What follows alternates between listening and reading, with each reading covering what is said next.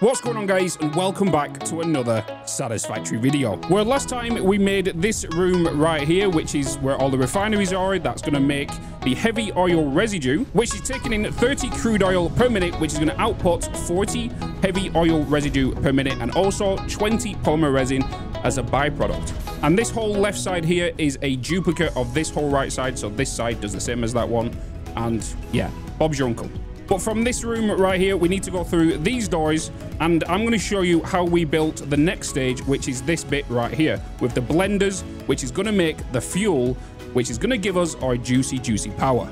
But I'm also going to show you how to solve some fluid problems that you are more than likely going to be having, especially when it comes to these fuel lines and you're making extensive lines and you come to the end and you find out that some of your machines are actually not operating and keep flashing red and because they're not receiving enough fuel. So I'm going to show you how we do that today as well. But this right here is what the one slice of the pie is going to look like. This is only consuming two crude oil lines.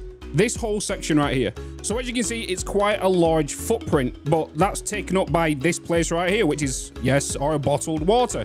Another video where I talk about bottled bloody water. So this whole train station right here, we actually need to duplicate this onto this side of the building as well. But as you can see, right there is, well, where these chimneys are just below us, right here is where we need to actually build the blenders. And then the whole train station is going to go on this side. And then more fuel plants which is double what we've got over there is going to get put there as well to give us like i said that juicy power. And then that whole footprint of a building will like i said will only be consuming these four crude oil uh well 600 lines right here. And then once we've done that we need to duplicate that whole thing and do it again and bring in four more crude oil lines to make even more power. And who knows we might do it twice more but then that's going to take a lot lot longer to build. Right, so let's start today's project, and that's going to be going through these double doors right here, and this is going to be our playground. And underneath is our four lines of heavy oil residue. We're going to send to the blenders, which is going to be on the left, the right, and then also that will then get sent to the fuel gens. But the first thing we need to do is we need to bust open this wall so we can make it one big conjoining room. And bada bing, bada bosh, there we go. We've now opened up the wall, which means we have already an established walkway here. Uh, and all I'm going to do is I'm just to get the blenders from this side and flip it on this side, which will start the procedure of the next factory here, which will uh, one line of blenders that way and one line of blenders going that way. But if you're watching this in September right now, I'm recording this video live on Twitch. So if you want to come over and show us some love, come on over, give us a follow, and uh, come and say hello to Twitch chat. See? Look at all these idiots. come and say hello.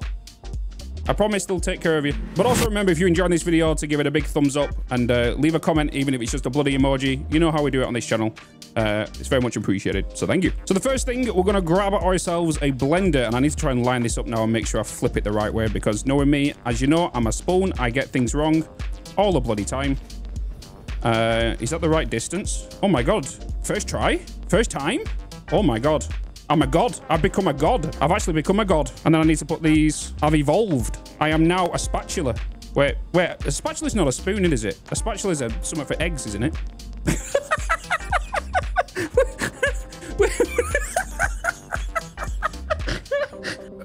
what an absolute tool. Wait, they're not actually the right way. Oh my god. they're actually the wrong way. Oh my god. Great start to the video, Bitz. The output goes on this this side, not the input. I didn't evolve. I got excited for no apparent reason. There we go. Output on this side. Input on that side. Okay, there we go. Oh my god, I'm not going to lie. I'm sweating from my eyeballs right now. So we need to put down one, two, three, four, five, six, seven, eight. And the reason that being is because if I'm not mistaken, I'm trying to remember what I've done on the live streams here. And I'm pretty sure if I just dig up these floorings, we have this line, which is... There's an autosave. This could take about 20 minutes. All right, autosave, bloody complete. But anyway, as I was saying, pipes. This pipe, so that one, this line here, booth. I need to see. So this line, this central line is a 600. This five machines on the end, that's five. You are making me 40, 81, 20, 240. That's right, isn't it? 40, 80, 120, 160, 200. I can't even do maths now as well. Five times four Bitz is 20. Is bloody 20. Anyway, so that means that this 200 line is gonna go into... Wait, wait, is that 200? Wait a minute. Have I actually F... Oh, no, I think I might have effed up this whole entire building. Wait a minute. Wait a minute, wait a minute. Here's the one I did earlier. Hole. Oh, no, I bet you I have. One, two, three, four, five. Five times four, that's 200. So 200 in that pipe is going into here. Into a... Don't look. If you don't want spoilers for the end of the video, this is what we're making. that's going into this machine. So that's 100 going in there. 100 going in there. Oh, no, we're fine. Oh, oh my God. We're fine. Everything's fine. Everything is fine. Everything is fine. Panic over wave. Get back to the video. Everything's fine. Everything is fine.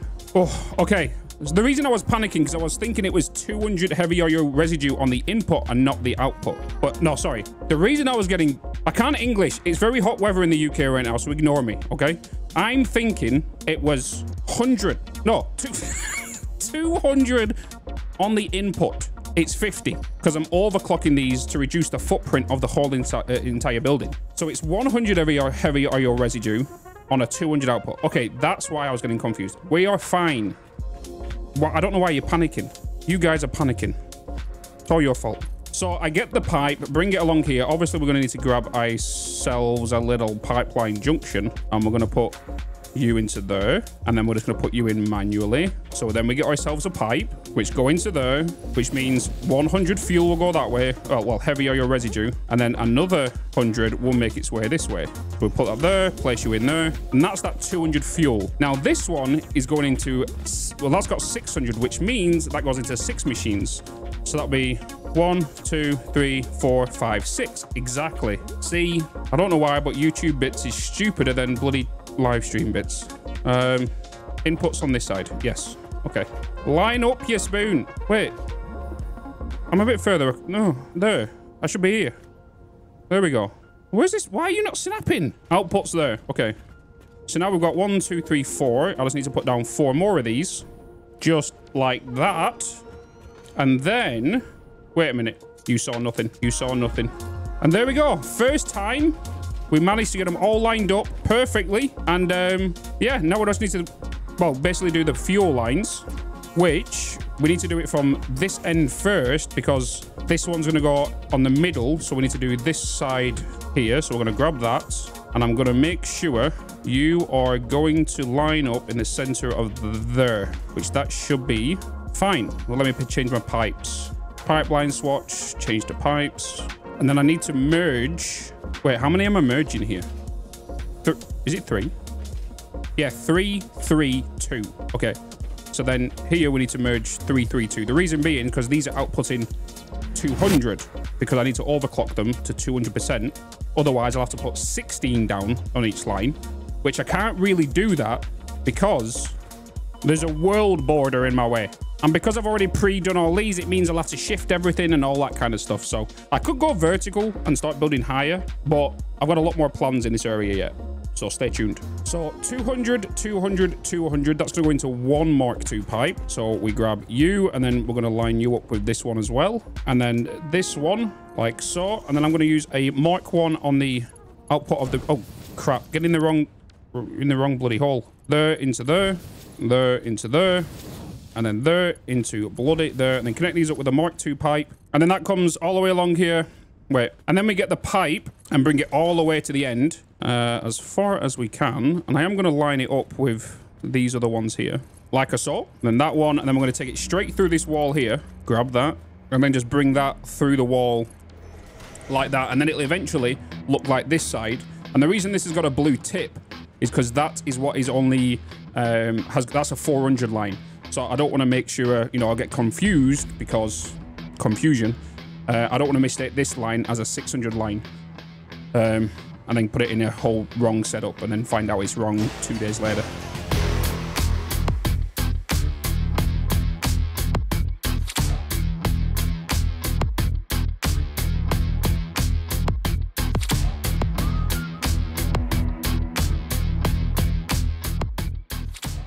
Right, next thing I need to do is just drag the uh, 600 heavy oil residue line. I'm just going to bring that down here and get that inserted into our blenders.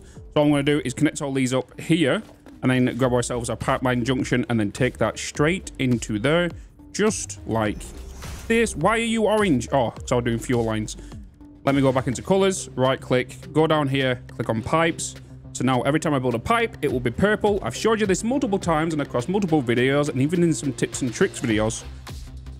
So you don't have to paint them all. You can set the default color of what they are when you build them. And now that we've got the heavy oil residue, we all we need to do is go into each of these, make sure we've got the recipe set, and then make sure we've also overclocked all of these to be 200% to compensate for the missing ones because like I said, we're just shrinking the footprint down a tiny bit because it's going to be a large building in the end anyway. And then once that's done, I'm going to daisy chain these um, blenders and I'm just going to find out where the power connector is. Oh, that's a bloody drop. So I'm going to go from there, take it back by one, grab myself a wall, replace it, take it up just like that. Take that all the way behind each of the blenders, like so. Then quickly grab that end one, grab yourself a power connector, and then just place it right outside of that node of each machine. And then once done, just remove the walls and then connect that connector, then connect that to there, just like that. And then the kind of the semi daisy changed, daisy changed, daisy chained, and then just do it for the rest of them. And then once we've done that, all we need to do is duplicate this what we've just built here to where I'm currently stood on this side. So we'll make sure that the heavy oil residue for the other lines will be here and then the fuel will be coming on the opposite side over there. So I'll be back with you in like two seconds. well, actually, it will take me a little bit longer to build it. Um, and then I'll show you what we've done. Right, and there we've had it. And as you can tell, I've added a ceiling with the skylights coming through as well. Uh, next thing I kind of want to do, well, we need to actually bring this wall along here, like so, all the way through. Then we want to make sure that this is the walkway here that we get into the room with. And then that's going to be another walkway. So if that's going to be there, that needs to go along there as well. Ah, it's hard to see in here now. I'm going to just take that through there just like so. And then I can grab myself a uh, just a straight walkway. And we're just going to attach that to there and zoop it. Well, uh, all the way to the end of the room. We will then make another exit, just like so, and then we can punch a hole through the wall there, and then this will be our uh, entrance out, well, exit out, I should say. And then that will lead up onto, well, these catwalks. That's a good question. Why are they higher compared to the... Oh, no, because this is one's going over. It's going to be similar to this, to this one. So the next thing we need to do is now grab ourselves a barrier. Place that there, move it to the left once. Do the same again. Shift it to the right once, like that. Grab ourselves a door, aim at that, hold control, swap that over just like so. And then grab ourselves some, well, remove that. Then grab ourselves some pillars, which I think we're using the small ones, I think. And place that, uh, maybe it is the bigger ones. Let me check. What did I do here? Oh, I didn't, I did not. I added the beams. Why does that seem a little bit bigger? That's because I was doing this instead. I was taking it... Wait, let me just take that to the end. I was doing it this way instead. So if I grab the pillars, I wasn't actually clipping it through this wall here. I was taking it along like that. Yeah, which is right. But these walkways are actually wrong. I actually removed... I actually put normal ones down, just the, uh, the catwalk, catwalk crossings, because I did it that way. So then the railings aren't here on the side, because it didn't look right and then I just grabbed the uh, the modern railings and then just added them to the top, just like we did in last video, connect them to the line and then just zoop it across there, just like that. And then we can add the lights going down there. And there we go. Now I've done the catwalk that goes through the center of the room. Um, I said the catwalk, but it's like more of the central walkway. Uh, what we need to do next is we need to grab ourselves a uh, window. Uh, where is it? The full frame window. And, oh, I just need to put the foundation there. So we're going to put a foundation right here. And we're just going to grab ourselves the window and place it just there like that. And then we're just going to zoop that all the way across so it kind of looks like it's in a big fish tank, kind of. And we're going to do this on this side. And then also we're going to do it on the other side as well. Next up, what I'm going to do is I'm going to take this beam all the way along here just like this because it's still a little dark in here. So I add more, some, well, some more lights into here, And what we're going to do is we're going to make like ceiling lights going along here with like an offset of one sign uh, every so often going along here just with some white lights. And then them uh, signs you can see inside there with the blue and the orange, we actually need to do them on the inside and, well, inside of these and then over there on that corner. And uh, I'll show you how I did that in a minute, but that's a little bit finicky on how we did that, to be honest. But also, like we did last episode as well, I'm putting a window straight up there, just like this, and then grabbing ourselves a barrier and placing that in there, just for a bit of aesthetics with a metal beam. Metal beam from the top to the center, just to kind of divide it up a little bit, and then carry on bringing this pillar along here like this. We're actually going to paint this black, but I'm not going to do it just yet. But what I want to do is I want to make sure that these lights go on here. So for me to do that, I'm, I need to grab, I think it's going to be from, wait, let me put that window back there. If I put this, say, here, and then take that through like that, remove this pillar really, uh, well, that beam, and then grab ourselves a sign. Uh, I think I used that one, like that. And then all I'm going to do is I'm just going to attach it all the way along like this, all the way to the other end of the room. But I'm going to go inside of it, and then I'm going to change, well, change the layout first. Ooh, change the layout, put it to the text, remove the text, select the color, go to black, and then set that to... I'm just going to put it white with a emission strength of 3, and then I'm just going to save it like that. And then what I'm going to do is I'm just going to copy this, and then put it on every other one, like so. And then whatever's the dark one, I'm going to remove eventually. And then I'm going to put this beam back so I can just zoom that across there. And then I'll eventually paint that pillar black like that. And then you've got the white lights coming down from the ceiling just like so as well. So I'm going to do that all the way along here. Uh, and then I'll get back to you once that's done and then we can kind of work on the inside lights in here because I still think it's a little bit dark even though we are losing using lumen as well. Okay, so there we go. I've now added the lights onto the uh, beam up the top, but I've also added the lights over in the other side, and it's it's it's so much brighter in here now. I know it's daytime. I know that will affect it, but like still, it's a lot brighter and a lot better in here. So I think we're on the verge of getting this room done. I don't think there's anything else, but also if we come down here and outside of this room, we can see that I've been hard at work and added a sugar ton of bloody fuel gens. And this is to make sure that all the fuel that these blenders are making that we've just added will actually be consumed by all of these. So the smaller versions, which are these ones here, are going to be for the 400 fuel. And then the ones that are underneath this middle line here, so this one and then that one, up there is going to be uh, for the 600 lines. I have half them and I have, I'm going to be overclocking all of these by 200 so we don't have to put 50 down or 25, 225 lines to consume a 600 line. We're actually going to be dividing that by two because we're going to overclock them all by 200%, which means we'll need 25 in total. Um, so I've not done that side, but this side is powered, however, over here from this left-hand side. So if we go over here, we can see that these are producing uh, some power for us. Uh, and if you notice, uh, everything is running nice and smoothly. Uh, and to get on topic with how to actually make sure that these are actually working and, you know, there's no fluid starving these machines, uh, because a lot, that's one of the main problems with fluid, is it doesn't usually reach the end couple of machines, usually the end four. Uh, and the reason I found out, I think it is, is there's been so many different topics on this and so many answers and so many debates. But the one that thing that works for me, and ever since I've done it, I've not had a single problem, making sure that the water pumps are not on the vertical piece of piping. I've now started to only put the pumps on the horizontal part of the pipe. That's the only thing I've done differently. And the reason I think maybe it might be doing that is because when you put a pipe down, a pump down here, there's a little bit of pipe underneath that might require the pulling. So this is the only thing I've changed is just adding the, uh, the pump to the horiz horizontal part before the lift. But if you have an extremely long pipe that goes up, I highly recommend you still put one down here, but then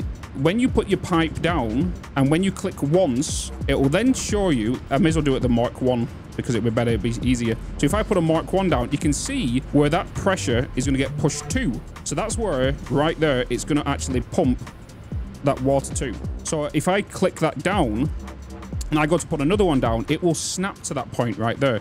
Don't go to the snapping point. Go below that because if you go there, sometimes I, I, it feels like it doesn't grab hold of it. So I go to just below it and that helps. So that's the only thing different I've done and it works like a charm for me. You can see all of them are blue, all of them are blue, and then also these are red because obviously I've not connected these up with the power yet.